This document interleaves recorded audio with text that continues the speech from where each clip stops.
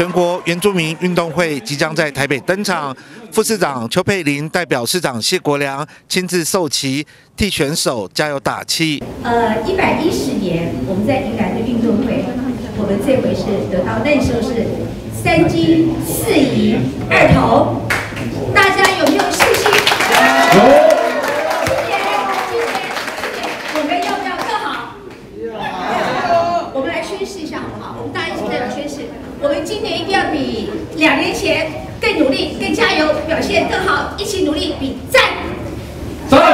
授旗仪式在基隆市政府大门口举行，基隆市议长童子伟、原住民议员陈明健、体育会理事长郑锦洲特别致赠加菜金，预祝基隆代表队旗开得胜。我们今年这个三百，我们这个原住民的这个选手团队有三百六十六个，那我想我们特别来市市政府的这个门口来为他们送行加油，也顺便自赠加菜金，那希望他们会有一个好的成绩。我想。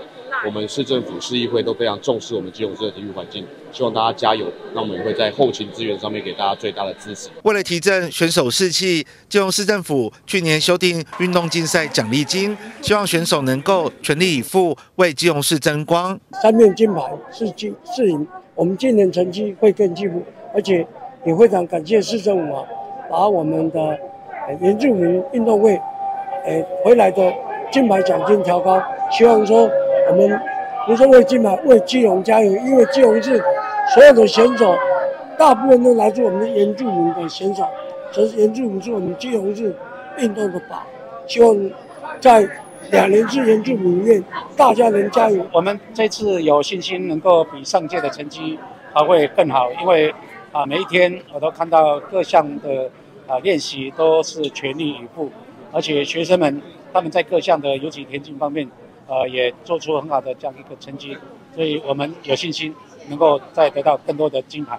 一向每位小选手加油打气，副市长邱佩玲提醒每位选手，比赛时要注意自身安全，期许代表队发挥最高水准，刷新上届得奖纪录。记者黄少明这样报道。